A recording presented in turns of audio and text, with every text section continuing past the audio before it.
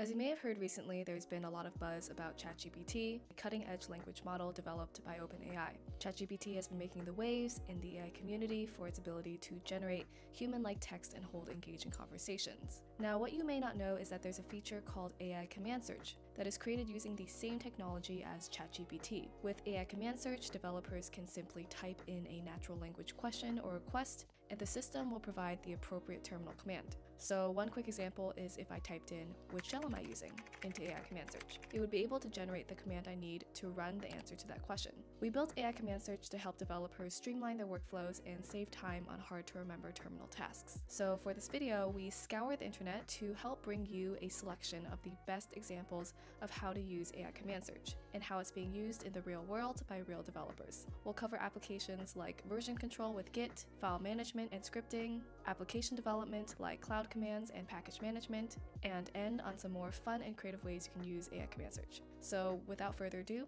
let's get started. So to start off, a lot of developers who had tweeted about AI Command Search in the past love to use it to help with remembering Git commands. The reason is probably because Git has a bunch of flags and options that can be used to customize commands. So with that many variations and options, it can often be hard to remember the exact syntax of each command. That's where we found AI Command Search came in handy as it helps developers find the right Git command for their needs by using machine learning to understand the actual context of their search. So here are some examples of where developers found it especially useful. How to create a Git repository, how to count all commits in a repository, git undo, rolling back 10 commits, changing the last local commit, how to display the last 10 commit authors, adding a new git submodule, removing all instances of my private key from a git repo,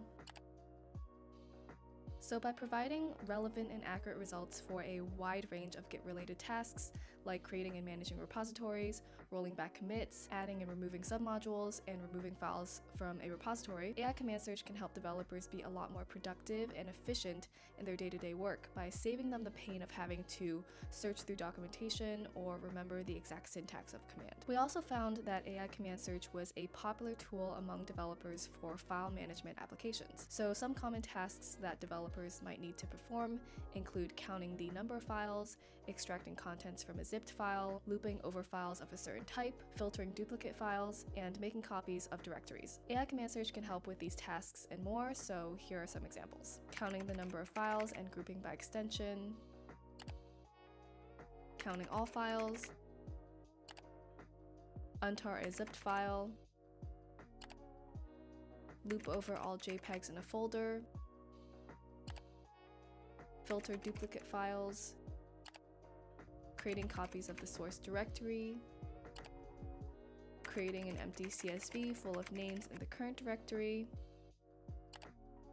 finding files that contain a certain name and then changed last week, counting all files and ignoring hidden, looping over folders and creating an empty gitkeep file if the folder is empty, prefixing all JPG files with a certain string, removing the password from a PDF, copying a file from a remote system, and downloading Seinfeld.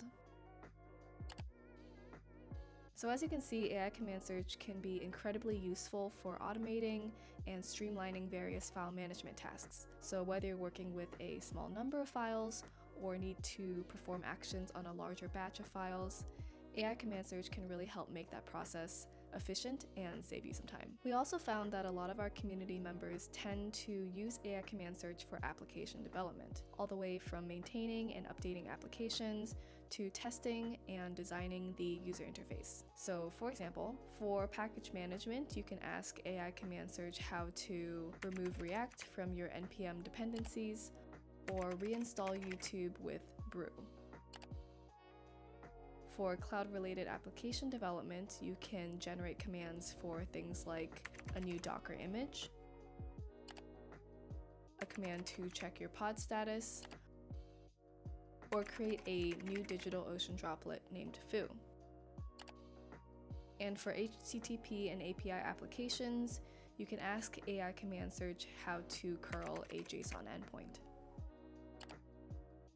So as you can see, AI Command Search can be incredibly useful for a wide range of application development tasks and can usually help you find the right command to streamline your workflow. And finally, I think you can see that in this video that AI Command Search is a powerful tool for developers, but that doesn't mean that you can't have a little bit of fun with it too.